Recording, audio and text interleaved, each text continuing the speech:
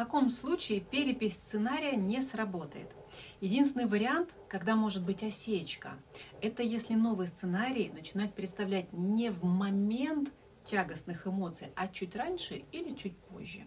Например, разберем посекундно процесс. Я произношу себе слово «долги», пытаюсь его прочувствовать, определяю эмоции. Например, тревога, бессилие, апатия, подавленность, в целом на 8 баллов. И если прямо в этот момент я начинаю переписывать сценарий, представлять, как легко я рассчитываюсь за булку хлеба в магазине, то все сработает сразу, быстро и хорошо. Рассмотрим другой вариант того же процесса. Я произношу себе слово «долги». Погружаюсь в те же эмоции, замеряю тот же балл. А пока замеряю, Представляю школьную линейку с делениями, например, да.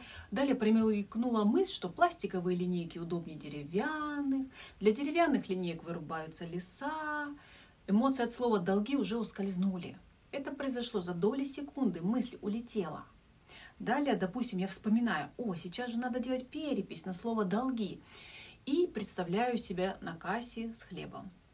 Делаю это. Однако новый сценарий в этом случае может не сработать.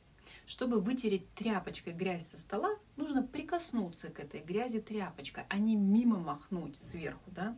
Если мы отвлеклись во время билатеральной стимуляции, то есть выскочили из реакции на триггер, то связи между триггером и новым красивым сценарием может не возникнуть. Тряпочкой махнули мимо. Тогда нужно снова вернуться к триггеру слова «долги». Снова прочувствовать тревогу, бессилие, апатия, подавленность и в этот же момент представлять себя на кассе магазина с хлебом.